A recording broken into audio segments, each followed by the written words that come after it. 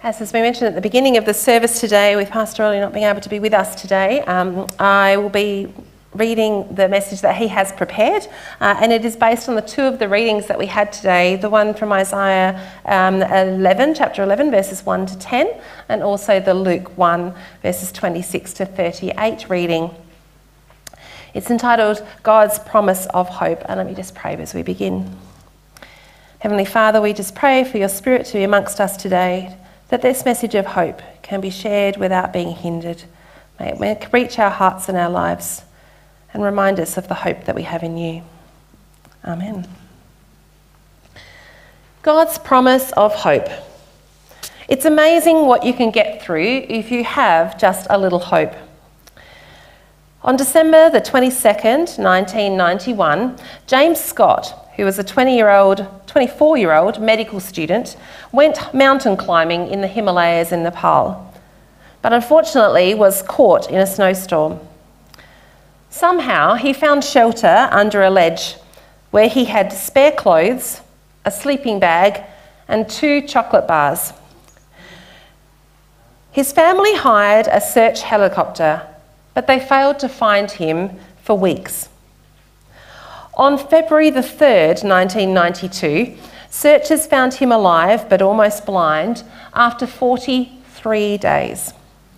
James looked forward to being with his fiancée and his family again, and it was this hope that kept him alive. Hope is the anticipation of something good in the future. At this time of the year, children are hoping for Christmas presents. Parents and grandparents are hoping for family gatherings, and most of us may be hoping for a few days off. Would you agree that hope is powerful? Proverbs 13:12 says, "Hope deferred makes the heart sick, but a longing fulfilled is a tree of life." They say, "Where there is life, there is hope." And it works just as well the other way around. Where there is hope, there is life. But without hope, difficult days and dire circumstances can grind us into despair, dread, and depression. Hopelessness is a symptom of being cut off from our true source of life, the living God. As Paul reminds his friends at Ephesus that they were once without hope and without God in the world. We all need hope to make it through life's hardships. People in drought hope for rain. People inundated by floods hope the rain will stop. People in war torn countries hope for peace. The oppressed or the exploited hope for justice and people facing death need hope for eternal life. So, how is it for you? What is your source of hope in the face of defeat, disaster, or death? A crisis always tests our source of hope. What do you hang on to when it all hits the fan? Who or what do you turn to when the present is dark and the future ahead looks bleak? If you're ever in that situation, then the prophet Isaiah has something for you. The prophet Isaiah burst onto the scene in Jerusalem around 740 BC till 686 BC. David's dynasty had been in steady decline already for over 200 years. Following Solomon's compromise with idols, the nation of Israel split into two kingdoms the northern kingdom of Israel and the southern kingdom, Judah. And these two kingdoms were often at loggerheads. Both kingdoms were sandwiched between two superpowers Egypt in the southwest and Assyria in the northeast. While Egypt was struggling to retain its superpower status at the time, Assyria's star was on the rise, invading new clans, conquering their peoples, and demanding goods and taxes. In 724 BC, the Assyrian king Shalmaneser invaded the northern kingdom, held Samaria under siege, and sacked the capital in 721 BC.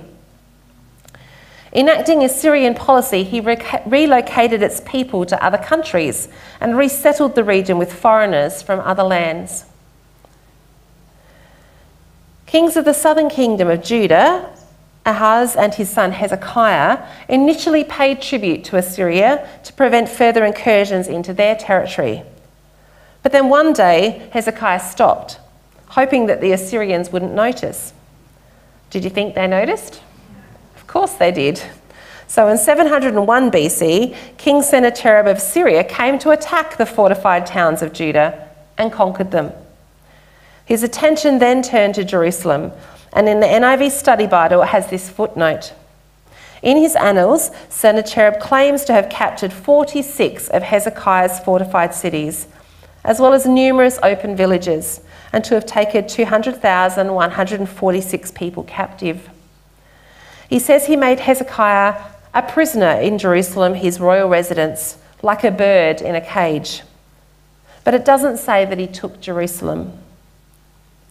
With the brutal Assyrians at his doorstep, Hezekiah attempts to buy off Sennacherib with 10 tons of silver and a ton of gold, hoping he would withdraw.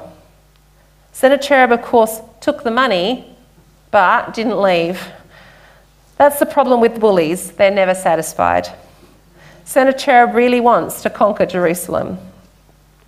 So imagine you fled with your family from a country village to Jerusalem, seeking shelter and protection inside its walls. An army of 185,000 Assyrian warriors is approaching, and its general is giving an ultimatum to your leaders surrender or we will smash you to pieces, just like we've done to all the other nations. Where do you think you find hope in such circumstances? Well, King Hezekiah prays to the Lord. He prays for deliverance and consults the prophet Isaiah about the Assyrian threat. The Lord makes it clear that Assyria's days are numbered. Isaiah 10:12 says, "After the Lord has used the king of Assyria to accomplish his purposes on Mount Zion and in Jerusalem, he will turn against the king of Assyria and punish him for he is proud and arrogant. Again in Isaiah 10:33 we hear, "But look, the Lord, the Lord of heaven's armies, will chop down the mighty tree of Assyria with great power. He will cut down the proud, the lofty tree will be brought down." God says he will cut the Assyrians down to size, and he did. In 2 Kings 19:35 we read, "The angel of the Lord went out and put to death 185,000 in the Assyrian camp. So much for Assyria. But what hope is there for Israel after this their devastation? God gives Isaiah a second vision of a better things ahead. In God's plans, his people have a hope and a future, and it all hinges on a descendant of David. As we heard in our reading today from Isaiah 11 1 to 3, out of the stump of David's family will grow a shoot. Yes, a new branch bearing fruit from the old root, and the Spirit of the Lord will rest on him the Spirit of wisdom and understanding, the Spirit of counsel and might, the Spirit of knowledge and the fear of the Lord he will delight in obeying the Lord. He will not judge by appearance, nor make a decision based on hearsay. Although David's dynasty was now just a stump, Isaiah declares that at some point in the future, a descendant of David will make everything that's wrong in the right in the world right again. It says the spirit of the Lord will rest on him, and that's what happened at Jesus' baptism. In Jesus' ministry, we see the power of the Holy Spirit to work miracles and to transform people's lives. Jesus amazes people with his teaching, his compassion, and his acts of service. With a word of command, Jesus has authority over disease, death, demons, and the destructive forces of nature. In Jesus' miracles, Isaiah's vision comes to life it's an appetizer to the banquet when Jesus returns.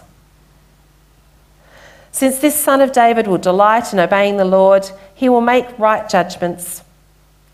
He will give justice to the poor and make fair decisions for the exploited. And this is good news for the oppressed. And this son of David will punish the wicked by the authority of his word. The earth will shake at the force of his word, and one breath from his mouth will destroy the wicked. Just as we see in Jesus' miracles, his word will accomplish exactly what he says, which of course echoes Genesis 1. His rule will bring cosmic peace. Isaiah's vision is that all of creation will be healed and will be whole. No more invading armies threatening God's people with death and destruction. No more floods, storms, hurricanes, tsunamis, or earthquakes. No more plagues or pandemics. Everyone will be safe from dangerous animals. In fact, it will be so safe that babies and toddlers will be able to play with snakes. The Old Testament scholar Dr. Barry Webb comments it's a picture of the whole of creation put back into joint.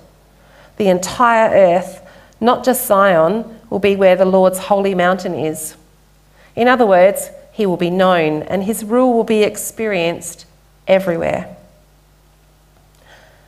Isaiah's vision is a return to the paradise that God intended at the beginning. And we're told that a descendant of David will usher this in. And of course, that descendant is Jesus, and Jesus is our hope. So, how does God keep this promise? For a start, we know that the shoot from the stump of David's family is Jesus. It's there in angel's announcement to Mary that we also heard this morning in Luke chapter 1. As the angel says, You will conceive and give birth to a son, and you will name him Jesus. He will be very great and will be called the Son of the Most High. The Lord God will give you the throne of his ancestor David, and he will reign over Israel forever. His kingdom will never end. So, firstly, our hope is in Jesus' promises. Some think it's arrogant to say that we are confident of inheriting eternal life. But I submit to you that it's not arrogant to acknowledge that we mess up, and that's why we need Jesus to save us. It's also not arrogant to trust Jesus' promises. Promises like that he's given us in John 3:16. For this is how God loved the world he gave his one and only Son so that whoever believes in him will not perish but have eternal life. And another that he gives in John 5:24. I tell you the truth, those who listen to my message and believe in God who sent me have eternal life. They will never be condemned for their sins, but they have already passed from death into life. Jesus has defeated death for us. He shares his victory and life with everyone who will put their hope in him. The proof of that he will keep this promise is in his own resurrection. Since no one else has beaten death, it makes sense to put our hope in Jesus. Secondly, hope in Jesus transforms our lives. Friends, our future hope and destiny shapes our everyday lives. As Paul writes to Titus, for the grace of God has been revealed, bringing salvation to all people. And we are instructed in turn from godless living and sinful pleasures. We should live in this evil world with wisdom, righteousness, and devotion to God, while we look forward with hope to that wonderful day when the glory of our great God and Saviour Jesus Christ will be revealed. He gave his life to free us from every kind of sin, to cleanse us and to make us his very own people, totally committed to doing good deeds. And thirdly, Jesus will vindicate our hope. Jesus' first coming was in humility, but his second coming will be coming in glory.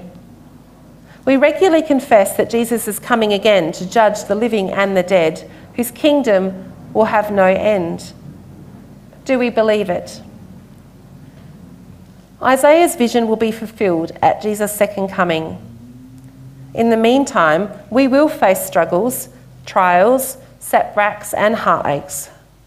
Yet, we persevere with hope because it rests securely in Jesus. No matter what you're going through, or how you feel, or what's going on in the world, God will keep his promise. And we live and die with hope in Jesus, knowing that the best is still to come. As Paul writes in 1 Corinthians 2 9, no eye has seen, no ear has heard, and no mind has imagined what God has prepared for those who love him. So, as it says in Psalm 31 24, be strong and take heart, all you who hope in the Lord. Amen.